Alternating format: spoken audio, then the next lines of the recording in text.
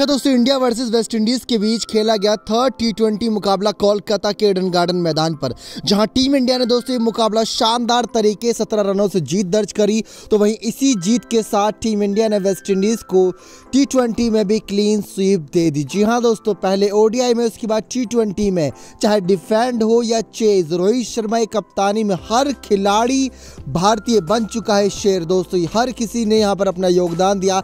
चाहे वेंकटेश अय्यर की बात करें, रवि बिश्नोई की बात करें, आवेश खान का इंटरनेशनल डेब्यूट थोड़ा बहुत फीका नज़र आया, लेकिन पूरी टीम ने जो जोरदार प्रदर्शन दिया, वो देखकर दिल खुश हो गया और यहाँ से सफ़र टी वर्ल्ड कप की राहों का अब बिल्कुल भी आसान नहीं नज़र आ रहा। मतलब टीम इंडिया बाकी टीमों के लिए मुसीबत खड़ी करने वाली है, ये बात तय है इस बार टी वर्ल्ड कप में। तो चलिए दोस्तों, आपको इस तीसरे टी की पूरी हाईलाइट की जानकारी देते हैं। क्या कुछ मैदान पर घटा, किस तरीके से टीम इंडिया ने जीती हुई बाजी को जो वेस्ट इंडीज की थी, उसको अपने पक्ष में यहाँ पर मोड़ती नज़र आई गेंदबाजों के दम पर। सूर्य कुमार यादव ने अपनी खतरनाक बल्लेबाजी से सभी को आश्चर्यचकित कर दिया। लेकिन उससे पहले अगर आप चैनल पर नए हैं, सब्सक्राइब नहीं किए तो जल्द से जल्द चैनल सब्सक्राइब कर दीजिए ताकि आप ऐसे ही लेटेस्ट अपडेट पा सकें। आप सभी को बताया दोस्तों, इंडिया और वेस्ट इंडीज़ के बीच ये थर्ड टी मुकाबला था, जहाँ इससे पहले खेले गए दोनों मुकाबले टीम इंडिया ने जीत दर्ज करी थी। एक छः विकेट से तो दूसरा आठ रन से जीत दर्ज करी थी। लेकिन बात करें इस मुकाबले की तो इस मुकाबले में टीम इंडिया ने अपने खतरनाक बल्लेबाज सूर्य कुमार यादव गेंदबाजी में हर डिपार्टमेंट ने सही काम करा, लेकिन आज कुछ बड़े बदलाव किए गए थे टीम में। तो चलिए दोस्तों, आपको शुरुआत से सारी सारी जानकारी देते हैं। दरअसल हुआ ये कि ऋषभ पंत और विराट कोहली को पहले ही दोस्तों थर्ड टी और श्रीलंका की टी सीरीज़ से रेस्ट दिया गया है दस दिनों का। तो ऐसे में दोस्तों यहाँ पर ऋषभ पंत और विराट कोहली गैर मौजूदगी में काफ़ी उठापटक हुई प्लेइंग इलेवन में, जहाँ ऋतुराज गायकवाड़, ईशान किशन, रोहित शर्मा सुरेश अय्यर की वापसी कराई। वहीं सूर्य कुमार यादव, वेंकटेश अय्यर, दीपक चहर के साथ शार्दुल ठाकुर भी देखने को मिले। हर्षल पटेल, रवि बिश्नोई और आवेश खान ने भी डेब्यूट कर लिया आज अपना। तो वही वेस्ट इंडीज की playing eleven Kyle Mayers Shai Hope Nicholas Pooran Rovman Powell Kieron Pollard Jason Holder Roston Chase Romario Shepherd Dominic Drakes Fabian Allen और हैडन वोल्स हमें देखने को मिले। वेस्ट इंडीज कप्तान पोलार्ड ने टॉस जीतकर पहले यहाँ पर गेंदबाजी करने का फैसला किया, यानी कि एक बार फिर से अपने पैर पर कुल्हाड़ी मारी। यानी करे तो करे क्या बेचारे इससे पहले मुकाबले में वो पहले बल्लेबाजी करे, तब उनको हार मिली, फिर गेंदबाजी करे, तब हार मिली। आज भी उन्होंने पहले गेंदबाजी करी, फिर भी उन्हें हार मिली। होगी। अब टीम इंडिया पहले बल्लेबाजी करने उतरी, जहाँ पर ऋतुराज गायकवाड़ और ईशान किशन को रोहित शर्मा ने ओपनिंग के लिए भेजा। इन दोनों युवाओं पर भरोसा जताया, लेकिन इन दोनों भरोसे के लायक खरे नहीं उतरे, क्योंकि आठ गेंदों पर चार रन बनाकर ऋतुराज गायकवाड़ एक चौके की मदद से आउट हुए। जेसन होल्डर की गेंद पर तो वहीं ईशान किशन ने 31 गेंदों पर 34 रन बनाए पाँच चौके की मदद से। रोस्टन चेज ने इनका विकेट चटकाया, दोस्तों, सीधा क्लीन बोल्ड किया। चौंतीस रन बनाकर ईशान किशन आउट हुए। सुरेश अयर ने भी थोड़ी अच्छी पारी खेलने की कोशिश करी थी। नंबर तीन पर इन्हें भेजा गया था, जहाँ सोलह गेंदों पर पच्चीस रन सुरेश अयर ने चार चौके की मदद से मारे। हेडन वोल्स ने इनका विकेट चटकाया था, जब टीम इंडिया का स्कोर दोस्तों, तिरसठ रन था। आठ दशमलव तीन ओवर तक। नौ दशमलव चार ओवर में गिरा था ईशान किशन का विकेट छाछठ रन पर, लेकिन उसके बाद कप्तान रोहित शर्मा खुद नंबर चार पर बल्लेबाजी करने के लिए आए। उनका साथ देने के लिए आए थे सूर्य कुमार यादव, लेकिन रोहित शर्मा सिर्फ़ पंद्रह गेंदों पर सात ही रन बना सके। दोस्तों, और चौका छक्का आज एक भी नहीं लगाया। नंबर चार पर मतलब कहीं ना कहीं इनके लिए अनलकी रहा, और डोमिनिक ड्रैक्स ने इनका क्लीन बोल्ड करके इनको चलता कर दिया। रोहित शर्मा का जब विकेट गिरा तो टीम इंडिया का स्कोर दोस्तों तिरानवे रन तेरह दशमलव पाँच ओवर था। वहाँ से सूर्य कुमार यादव और वेंकटेश अय्यर के बल्ले से निकलता है रनों का तूफ़ान। मतलब वेंकटेश अय्यर एक ऑलराउंडर के रूप में दोस्तों पूरी तरीके से हार्दिक पंड्या की जो कमी खल रही थी, वो यहाँ पर भरते नज़र आ रहे हैं। एक तो सूर्य कुमार यादव ने दिल खुल दिल खोल कर दोस्तों तीनों टी ट्वेंटी में बल्लेबाजी करी और ये बात तय है कि नंबर पाँच का स्लॉट कहीं ना कहीं सूर्य कुमार यादव अपने लिए हमेशा के लिए पक्का करते नज़र आ रहे हैं। इकतीस गेंदों पर पैंसठ रन की खतरनाक पारी खेली सूर्य कुमार यादव ने, जिसमें एक चौका और सात छक्के शामिल थे। वेस्ट इंडीज यानी कैरिबियन प्लेयर को पीछे छोड़ दिया छक्के मारने के मामले में सात छक्के सूर्य कुमार यादव ने लगाए। खासकर लास्ट ओवर में जो रोमारियो शेफर्ड के ओवर में तीन छक्के लगाए थे, वो तो और भी खूबसूरत थे। दो सौ नौ का इनका स्ट्राइक रेट था रोमारियो शेफर्ड ने आखिरी में फ़र्स्ट इनिंग के आखिरी गेंद पर यानी बीसवें ओवर की समाप्ति पर इनका विकेट लिया था। रोमन पोल ने बाउंड्री पर कैच पकड़ी थी। तो भाई वेंकटेश अयर ने भी 19 गेंदों पर 35 रन बनाए, चार चौके, दो छक्के की मदद से। Jason Holder, Romario Shepherd, Roston Chase और हेडन वोल्श साथ साथ डोमिनिक ड्रेक्स ने एक एक विकेट चटकाया। टोटल एक रन, पाँच विकेट के नुकसान पर टीम इंडिया ने बनाए। सूर्य कुमार यादव की बेहतरीन पैंसठ रन की पारी के दम पर तो वहीं अब चेस करना था टीम वेस्ट इंडीज को एक रन।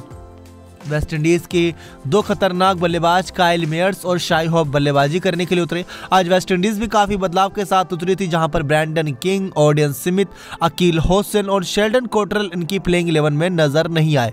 तो वहीं हमने देखा काइल मेयर्स और शाई हॉप ने ओपनिंग करी, जहाँ पाँच गेंदों में छह रन बनाकर काइल मेयर्स दीपक चहर की गेंद पर आउट हुए। तो वहीं शाई हॉप भी चार गेंदों में आठ रन, दो चौके की मदद से मारकर आउट हुए दीपक चहर की गेंद पर। लेकिन दीपक चहर दोस्तों एक दशमलव पाँच ओवर कराया ही था। पंद्रह रन देकर दो विकेट चटकाई ही थे कि इनको इंजरी का सामना करना पड़ा हैमस्ट्रिंग की और इनकी जगह फिर यहाँ पर मतलब इनको बैठा दिया गया। फिर हमने देखा कि वेंकटेश एयर से बचे कुछ ओवर करवाए गए। तो इसलिए पार्ट टाइमर गेंदबाज काम आता है।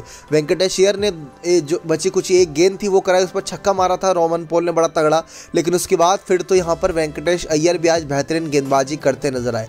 लेकिन हर बार की तरह दोस्तों, तीनों मुकाबले में एक बात खास देखने को मिली कि निकलस पूरन ने बड़ी दमदार पारी दिखाई। दोस्तों, पहले मुकाबले की बात करें तो निकलस पूरन ने उस मुकाबले में इकसठ रन बनाए थे तिरालीस गेंदों में। फिर दूसरा मुकाबला जो था दोस्तों अट्ठारह तारीख को, उसमें भी जो निकलस पूरन की पारी थी, वो थी करीब करीब बासठ रन की इकतालीस गेंदों में। लेकिन आज की पारी की बात करें तो आज भी दोस्तों, निकलस पूरन ने इकसठ रन की पारी खेल डाली, सैंतालीस गेंदों में। अभी इनको सनराइजर्स हैदराबाद ने दस करोड़ पचहत्तर लाख की बड़ी रकम पर खरीदा है तो पैसा वसूल होता दिखाई दे रहा है। अब जब आईपीएल में भी ऐसा खेलेंगे तो बाकी टीमों के लिए खेर नहीं। सैंतालीस गेंदों में इकसठ रन बनाए निकलस पूरन ने आठ चौके, एक छक्के की मदद से, लेकिन टीम को जीत नहीं दिला सके। इस खिलाड़ी को देखकर काफ़ी ज़्यादा आश्चर्यचकित है कि कितनी बेहतरीन बल्लेबाजी करी, लेकिन जीत नसीब नहीं हुई। शार्दुल ठाकुर ने इनका विकेट लिया था, तब बहुत बाद में इनका विकेट गिरा था, अट्ठारहवें ओवर की पहली गेंद पर। लेकिन बात करें निकलस पूरन के साथ दिया था रोमन पोल ने काफ़ी देर तक, जहाँ चौदह गेंदों में पच्चीस रन रोमन पोल ने दो चौके, दो छक्के की मदद से मारे थे। और आईपीएल 2021 के purple cap holder Harshal Patel ने इनका विकेट लिया। शार्दुल ठाकुर ने बड़ा खूबसूरत कैच पकड़ा था रोमन पोल का और इनको चलता कर दिया। मतलब आज सस्ते में निपट गया रोमन पोल, वरना पिछले मुकाबले में तो अड़सठ रन की पारी इन्होंने भी खेली थी।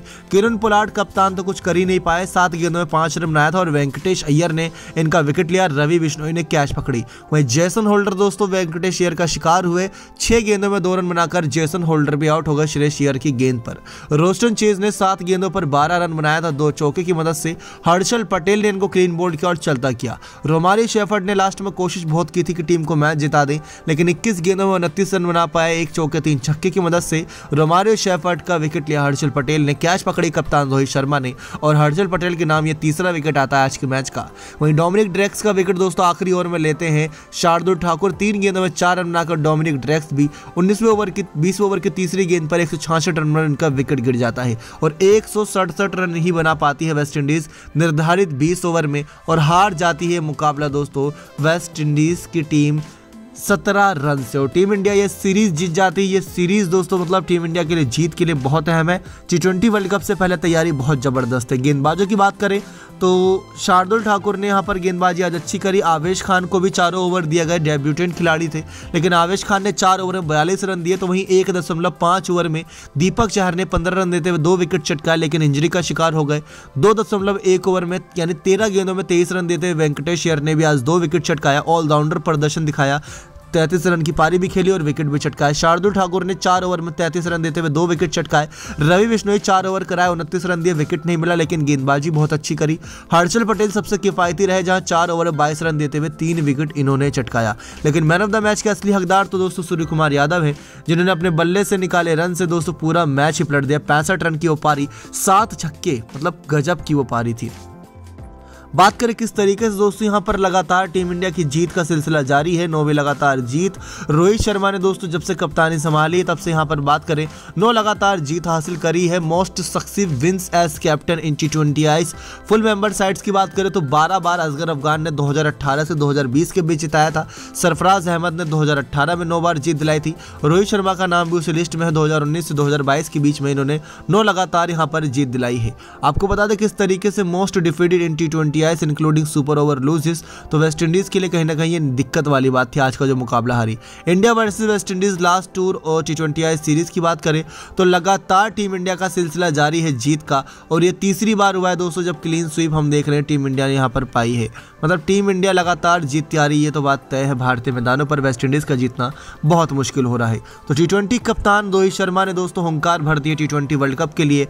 अब श्रीलंका की बारी है दोस्तों वेस्ट इंडीज को तो हरा दिया, अब बारी है श्रीलंका की जिसकी सीरीज़ शुरू होगी चौबीस तारीख से, तीन तीन टी मैच और दो टेस्ट मैच देखने को मिलेंगे। सारी जानकारी आपको हमारी नेक्स्ट वीडियोस के माध्यम से मिल जाएगी। चैनल को सब्सक्राइब कर बने रहेगा हमारे साथ। और ये टेस्ट जो होने वाला है, काफ़ी इंटरेस्टिंग होगा डे नाइट टेस्ट होगा। लेकिन टीम इंडिया ने वेस्ट इंडीज़ को अपने घरेलू मैदानों पर हराया और खाली हाथ वापस भेजा है। तीनों मैच अहमदाबाद के जीते, तीनों मैच कोलकाता के जीते।